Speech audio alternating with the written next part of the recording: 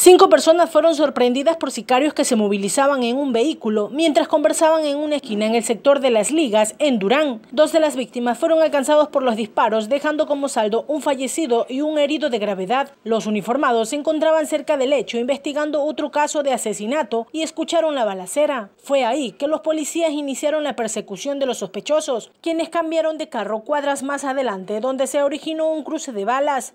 Eh, participó un vehículo, indicaba de que se había quedado una cuadra el vehículo y tres personas se bajan eh, de manera sigilosa, se acercan donde este ciudadano y proceden a, impactar alrededor de ocho indicios balísticos. Eh, y bueno, el otro ciudadano tiene una, herida en la, pierna, total 19 indicios balísticos, incluso hay, hay viviendas avaliadas también ahí que había pasado los proyectiles, había niños, había mujeres. Quien había rentado había sido este propio ciudadano, alias Chuleta, entonces ya teníamos indicios de algunas muertes violentas. Estamos atrás de un tercero que esta persona se nos dio la fuga. También tenemos varias pelucas también en, el, automotor. Entonces estamos hablando de, una organización delictiva. Este ciudadano pertenece a la banda del Ben 10, del Ochone Killer.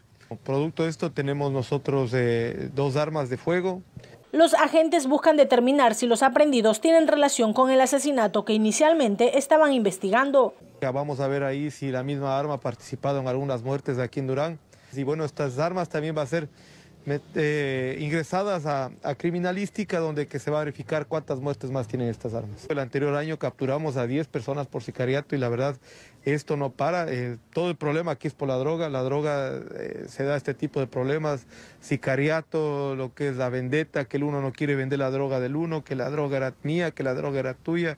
Y hasta incluso vemos que hasta entre ellos mismos se asesinan. Informó para Últimas Noticias Jessica Romero.